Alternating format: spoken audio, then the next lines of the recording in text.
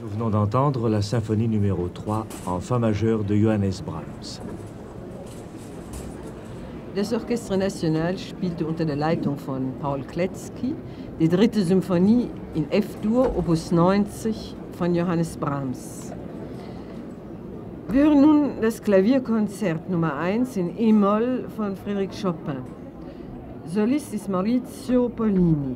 Drei Sätze: Allegro maestoso, Romanze Larghetto und Rondo Vivace.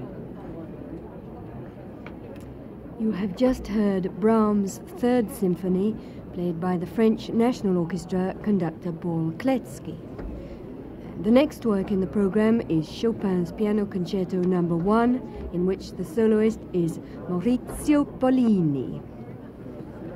Dopo la terza sinfonia di Brahms, l'Orchestra Nazionale della Radio Francese, diretta da Paul Kletsky, eseguisce il concerto per orchestra e pianoforte di Chopin.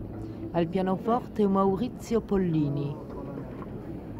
L'Orchestre national que dirige ce soir Paul Kletsky interprète maintenant le concerto numéro 1 en mi mineur pour piano et orchestre de Frédéric Chopin. Soliste Maurizio Pollini. En voici les trois mouvements. Allegro maestoso, Romance larghetto, Rondo vivace.